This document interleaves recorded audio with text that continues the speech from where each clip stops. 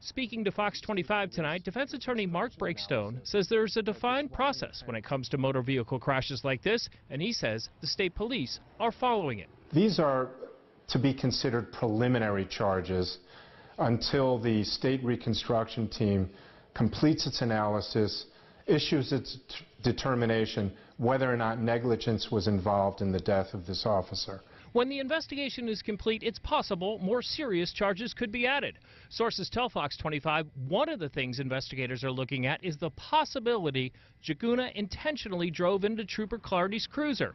Breakstone says if true, it would be hard to prove. If there is evidence from the state police reconstruction analysis that this was an intentional act, he may be charged with murder. In addition to the upcoming court date, Njuguna is no longer allowed to drive, his license revoked. I was able to get in one question for his cousin by text. I asked him if Njuguna will attend the hearing. He replied, yes. Live in the newsroom, Ted Daniel, Fox 25 News.